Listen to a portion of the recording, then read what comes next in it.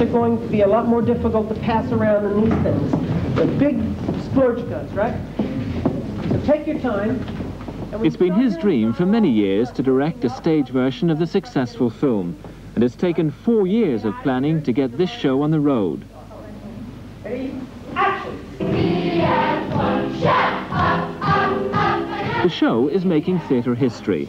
It's the first time that a play with only children has been staged in the West End. But Micky Dolenz is convinced that the cast isn't overcome by the razzmatazz of theatre life. Well, I can speak from personal experience. When I was 10 years old, I got my first television show.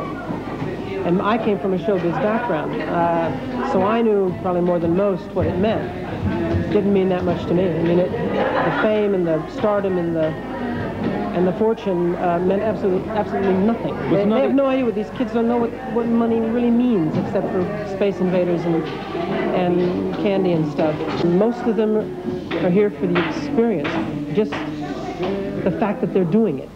It's like going to a party. It's like if you asked any 48 kids, hey, you all want to go to the zoo? Yeah! Hey, you all want to go to the beach? Yeah! I mean, it's just the sheer enjoyment of doing it. But talking to a lot of them, a lot of them would want to, to do it for a living. A lot of them would want to be actors and actresses. I'm sure that many of them will continue. And on the other hand, I'm sure many of them won't.